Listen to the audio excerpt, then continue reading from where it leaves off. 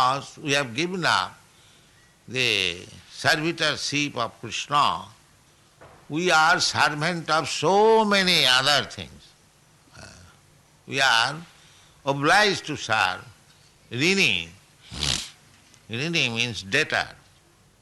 Devarsi bhutapta ninang pitrinang. We are debtor to so many persons. We are debtor to the demigods. Just like the sun is demigod.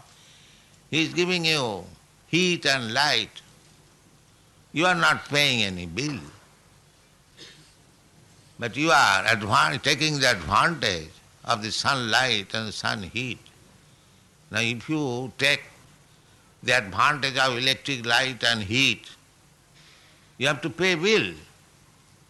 But here, uh, we don't pay bill. That means you are becoming debtor. Uh, if you don't pay bill anywhere, then we become debtor. So, we are debtor to so many demigods. The sun is supplying heat and light.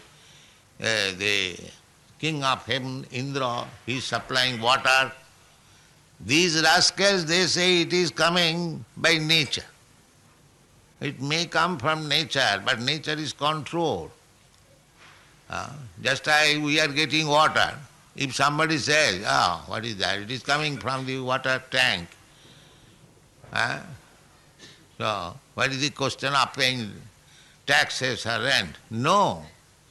The water tank is being filled up by the municipality. If you don't pay tax, it will be cut off. Uh, similarly, don't think that the water is coming as your father's property. No. You are becoming debtor. You are becoming debtor. Therefore, if you don't pay debts, if you don't perform sacrifices, then there will be scarcity of water. And one day it will come, there will no water. That you expect, because you are not paying any tax. You are thinking water is coming, my father's property.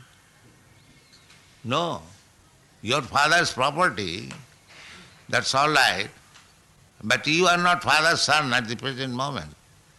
You are Maya's son. Uh, you don't care for your father. Therefore, father says, Maya adhakshena priti suyate sacharacharam.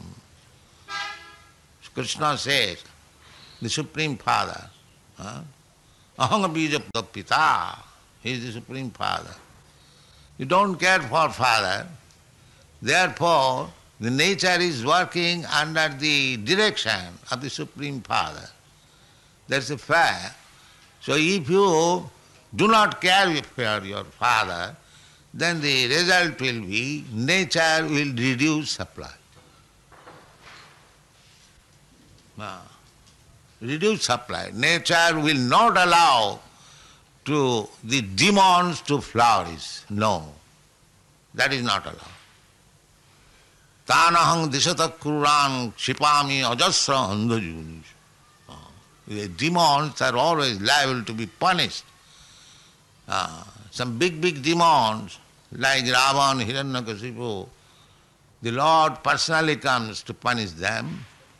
Otherwise, the ordinary demons, they are punished by the laws of nature. Krishna does not require to come to punish these petty demons. Uh, but when there is big, big demons like Ravana, like Hiranyakasipu, like Kamsa, then Krishna or Lord Ramchandra, they come to punish them. Therefore, uh, we have to follow the rules and regulation. That is called Sadharma. Thank you very much.